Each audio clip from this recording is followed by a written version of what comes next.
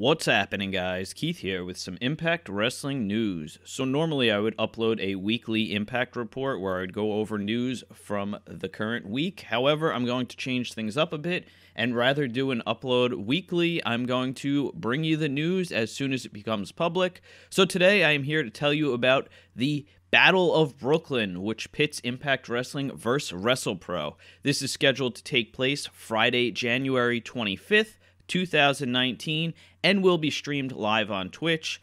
This will take place at 8 p.m. Uh, tickets are available at WrestleProOnline.com. Uh, so far, there has been no matches made public.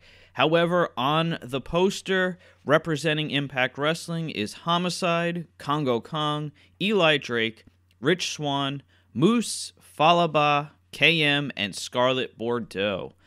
On the WrestlePro side, there is Nikos Ricos, Matt McIntosh, Anthony Bowens, Bobby Wayward, Dan Maff, Craig Steele, TJ Crawford, and Corinne Mink.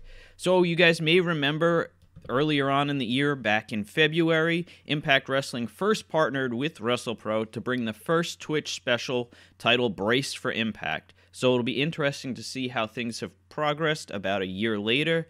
So that is all I have for you guys today. Thanks for checking out my video, and until next time, don't forget to like, share, and subscribe. Thanks, guys. Bye. Did you like that video? If so, click here to check out more great content. Thank you for supporting the Clock Cleaners Podcast.